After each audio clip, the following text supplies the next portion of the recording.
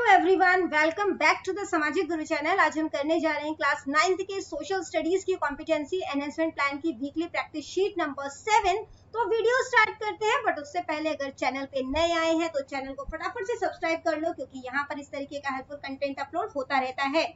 सबसे पहला क्वेश्चन जो हमसे पूछा गया है, वो है generally we see that maths and sex sex होता है बोरिंग ठीक है? Are use in household religious and educational institution तो इसका इस्तेमाल जो है वो घरों में रिलीजियस जगहों पर, ठीक है? इसके अलावा एजुकेशनल इंस्टीट्यूशन में भी किया जाता है। These items are associated with which of the following industry तो किस इंडस्ट्री से बिलोंग करता है? जूट इंडस्ट्री से, ठीक है? जो कि है पटसन उद्योग सेकेंड ऑप्शन ठीक है? इसके बाद क्वेश्चन नंबर टू है। Before the establishment of British rule in India small scale industries like blacksmith weavers farmers, ironsmith, cobbler and porters etc. used to make the things together to fulfill the need of the village.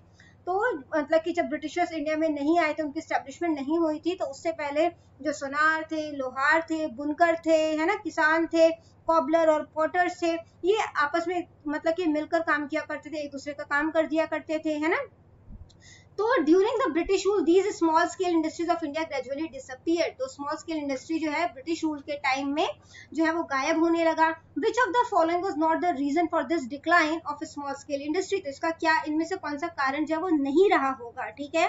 तो increase in demand for commodities produce by small scale industries by new generation तो new जो generation है, उनके द्वारा जो है वो small scale industries की डिमांड जो है, ठीक है, उनके द्वारा जो स्मॉल स्केल इंडस्ट्रीज़ ने जो प्रोडक्ट बनाया, उसकी डिमांड जो है वो बढ़ गई होगी। तो ये कारण इसका नहीं रहा होगा, है ना? यानी कि फोर्थ ऑप्शन करेक्ट है, नई पीढ़ी दे लोका वल्लो लघु उद्योग वल्लो तैयार वस्तुओं दी मांग वधेरे करना। इसके बाद क्वेश्चन नंबर थर्ड है which of the following statement is correct कौन सा स्टेटमेंट करेक्ट है? स्टेटमेंट वन कहता है कि इंडस्ट्रियल रिवॉल्यूशन जो है वो इंग्लैंड में हुआ था एटीन सेंचुरी में। सेकंड स्टेटमेंट है डिमांड जो इंडियन टेक्सटाइल की है वो वर्ल्ड वाइड है। थर्ड स्टेटमेंट कहता है कि नाइनटीन सेंचुरी के खत्म होने तक और बीसवीं सदी के, बीसवीं सदी के शुरुआत होने तक जो है वो काफ़ी सारी फैक्ट्रीज इंडिया में स्टैब्लिश हुई। स्टेटमेंट फोर जो है वो कहता है कि as a result of growth of modern industrial तो मॉडर्न इंडस्ट्रियल के ग्रोथ की वजह से दो क्लासेस जो है वो जन्मे कैपिटलिस्ट कैपिटलिस्ट और वर्कर ठीक है? और उन्होंने एक सोसाइटी जो है वो बनाई। तो सारे ही ऑप्शन जो है वो करेक्ट है। सेकंड ऑप्शन जो है वो करेक्ट है, ठीक है? इसके बाद जो है, यानी कि सारे कथन सही है। क्वेश्चन नंबर फोर्थ है हिस्टोरिकल फैक्ट को एनालाइज करना है और मैचिंग करना है। कॉटन टेक्सटाइल इंडस्ट्री जो है वो 1853 में स्टैब्लिश हुई थी। सी से कनेक्ट हो जाएगा। फिर सेकंड पहला जो टी गार्डन है, वो 1852 में बना था, ठीक है? तो ए आ जाएगा यहाँ पर। फ़र्स्ट कॉफ़ी गार्डन जो है 1840 में बना था तो ये बी से कनेक्ट हो जाएगा, ठीक है? यानी फ़र्स्ट का सी सेकंड का ए थर्ड का बी सेकंड ऑप्शन जो है वो करेक्ट है। पंजाबी मीडियम वाले स्टूडेंट्स के लिए सेकंड ऑप्शन जो है वो करेक्ट है। क्वेश्चन नंबर फिफ्थ है by the end of the eighteen century indigo plantation under indigo industry first started in two states तो इंडिगो इंडस्ट्री जो है, वो एटीन सेंचुरी के एंड तक कौन से दो स्टेट्स में बेसिकली ये स्टार्ट किया गया था? तो बिहार एंड बंगाल ठीक है? बिहार अते बंगाल, ठीक है? इसके बाद नेक्स्ट क्वेश्चन है गुरदीप स्टडीज़ तो जिस स्कूल में गुरदीप पढ़ता है, ज़्यादातर जो स्टूडेंट है वो रिच फैमिली से बिलोंग करते हैं लेकिन गुरदीप जो है वो पुअर फैमिली से बिलोंग करता है, उसके कपड़े जो है वो गंदे हैं, इसीलिए उसे बाकी बच्चों के साथ बेंच पे बैठना जो है वो अलाउ नहीं किया जाता। उसको ज़मीन पे बैठ के पढ़ना पड़ता है। तो क्या आप बता सकते हैं उसका किस राइट का, किस अधिकार का जो है वो हनन हो रहा है? राइट टू इक्वेलिटी यानी कि समानता का अधिकार। इसके बाद क्वेश्चन नंबर सेवेंथ है। आशा जो है, वो स्वीपर है, घर में साफ़ सफ़ाई का काम करती है, ठीक है? अपना जो है वो अर्निंग करने के लिए। और this year on June first 2024 first June 2024 को पोलिंग बूथ पर जो है वो वोट डालने जाती है। और उसने नोटिस किया कि जिस लाइन में वो खड़ी थी, उसी लाइन में जो है, वहाँ के कुछ लोग खड़े थे, जहाँ, जिनके घरों में वो काम किया करती थी। तो ये डेमोक्रेसी का कौन सा फीचर जो है, वो शो करता है कि जो डेमोक्रेसी में सभी लोग जो है वो इक्वल होते हैं। इंडिया एक डेमोक्रेटिक गवर्नमेंट है, ठीक है? और जो भारत है, उसके अंदर जो वोट देने का अधिकार है, वो बिना किसी भेदभाव के, अमीर गरीब का कोई भेदभाव जो है वो नहीं होता सबको ही वोट देने का अधिकार है। तो ऑल ऑफ़ द अबव इसका आंसर हो जाएगा, यानी कि उपरोक्त सारियाँ। क्वेश्चन नंबर एट है कि कौन सा स्टेटमेंट करेक्ट है, वो बताना है। तो इंडिया जो है डेमोक्रेटिक कंट्री जैसा हमें पता है है ना? तो in a democratic country there are two types of head तो दो तरीके के हेड होते हैं, एक नॉमिनल होता है और दूसरा रियल होता है। जो in our country the nominal head of the central government तो सेंट्रल गवर्नमेंट या यूनियन गवर्नमेंट के हेड जो होते हैं, उनको प्रेसिडेंट कहा जाता है और जो स्टेट गवर्नमेंट के नॉमिनल हेड होते हैं, उन्हें गवर्नर कहा जाता है। तो ऑप्शन यानी कि जो फ़र्स्ट स्टेटमेंट है और सेकंड स्टेटमेंट है, दोनों ही ट्रू है, ठीक है? यहाँ पर भी कथन एक दो सही है। ये इसका आंसर है। अगला क्वेश्चन है my name is Satnam Singh, मेरा नाम सतनाम सिंह है, मेरी उम्र 25 साल की है, मेरे पास वोटर कार्ड है, लेकिन मैं विलेज से सिटी में शिफ्ट हो गया, जिसकी वजह से जो है वो मैं अपना वोट जो है वो ट्रांसफ़र करवाना चाहता हूँ तो मुझे किन से कॉन्टेक्ट करना पड़ेगा?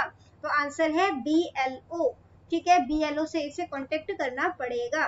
अगला क्वेश्चन है टीवी चैनल में सर्वे हुआ, ठीक है, जिसमें कि इंडियन डेमोक्रेसी का सक्सेस जो है, उसको लेकर जो है वो सर्वे किया गया। 50 परसेंट लोग मानते हैं कि जो डेमोक्रेसी है इंडियन डेमोक्रेसी वो बहुत ज़्यादा सक्सेसफुल है।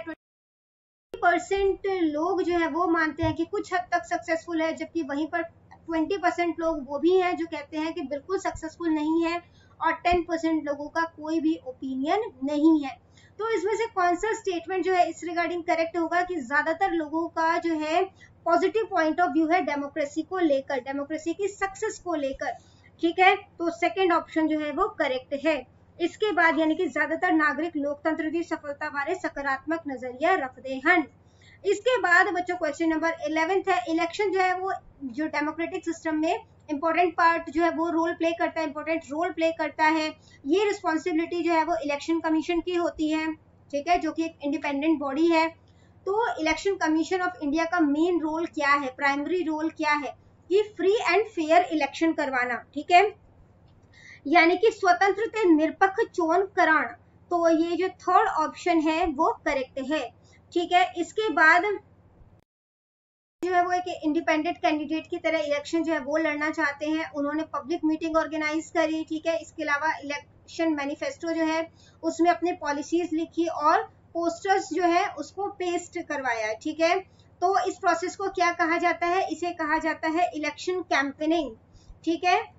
जो सेकंड uh, ऑप्शन जो है वो करेक्ट है इलेक्शन कैंपेनिंग नेक्स्ट क्वेश्चन है each country has its own procedure of election her country का प्रोसीजर जो है इलेक्शन का वो अपना अलग होता है। इंडिया में भी इलेक्शन इलेक्ट्रल प्रोसेस जो है, उसको काफ़ी सारे स्टेजेस से होकर गुजरना पड़ता है। ये आपको फोर स्टेप्स दिए गए हैं, इन्हें करेक्ट ऑर्डर में प्लेस करना है, ठीक है? तो यहाँ पर जो करेक्ट ऑर्डर होगा, वो क्या होगा? सबसे पहले डेट ऑफ़ इलेक्शन जो है, वो अनाउंस किया जाएगा, ठीक है? ये फ़र्स्ट हो जाएगा। इसके बाद जो है, जो मतलब कि इसके बाद क्या किया जाएगा? कैंडिडेट का सिलेक्शन होगा। ठीक है, ये नंबर टू हो जाएगा। इसके बाद जो है नॉमिनेशन फॉर्म वगैरह जो है, ये भरा जाएगा, ठीक है? और फिर इलेक्शन सिंबल जो है, वो एलोकेट होगा, ठीक है? तो यहाँ पर जो है, ये हमारे पास फोर्थ हो जाएगा। ठीक है तो इस अकॉर्डिंग जो देखो, सबसे पहले सेकेंड जो है, पहले ऑप्शन पे आएगा, फिर जो है फोर्थ वाला जो है, वो सेकेंड नंबर पे आ गया। फिर हमारे पास जो है जो थर्ड पॉइंट है, वो थर्ड नंबर पे है और जो फ़र्स्ट पॉइंट है, वो फोर्थ नंबर पे है, ठीक है? तो फ़र्स्ट ऑप्शन जो है, वो करेक्ट है। इसके बाद बच्चों क्वेश्चन नंबर फोर्टीन है। राम सिंह जो है, वो लोकसभा का इलेक्शन लड़ना चाहता है और इसके लिए उसे एक ऑफिसर ने फॉर्म भरने को कहा है, ठीक है? फॉर्म को फिल करके राम सिंह जो है, वो फॉर्म वापस करने जाता है।